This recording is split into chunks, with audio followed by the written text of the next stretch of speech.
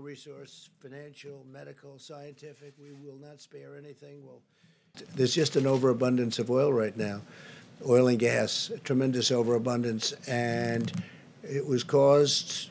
They were doing a great job. They were producing a lot of energy, but then you had the virus come along and it knocked another 35%, maybe 40% off of the market. So there's too much oil. There's a glut, and uh, these are great companies, and they'll figure it out. Free market. We'll figure it out. Parts of Michigan are getting hit very, very hard.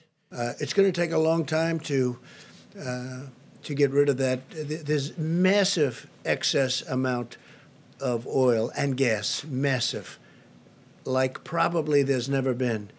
So where that does work out well, I guess you could say, is for drivers. I think in certain locations it's down to 90 and 95 cents a gallon right now on the road.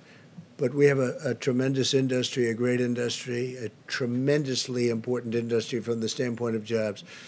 And we're energy independent. We have to make sure we keep it that way. Vast numbers of surgical gowns, equipment. We're not happy with 3M. Yeah. We're not happy. And the people that dealt with it directly are not at all happy with 3M. So we'll see whether or not we do. I heard what he had to say today. I don't know the gentleman, but we're not happy with 3M. Go ahead.